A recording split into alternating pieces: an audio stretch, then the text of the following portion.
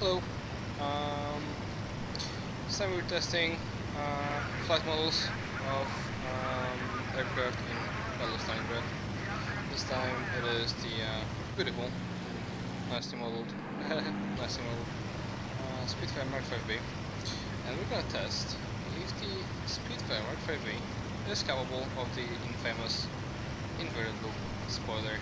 Yes, it is. Um, so I'm gonna turn north uh, direct north and let's see if I can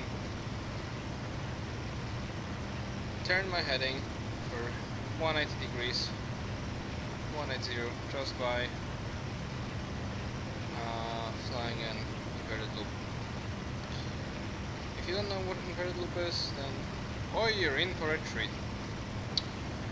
Alright boost engaged submission power full RPM reduce some there, 30%. Heading direct north, I am a little run around, and I am now, as you can see, applying only negative G's, applying uh,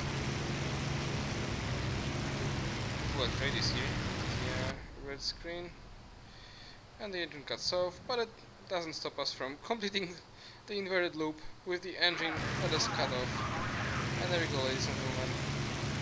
Heading 160. Yeah, 160 right now, so almost a uh, full 180 degree turn. Maybe a uh, slight misbehavior on a stick there on my part.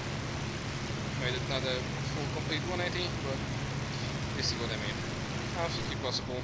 Is it accurate? Um, I'll Gonna say anything about it. It's not. Like, comment and subscribe. See you in the next one.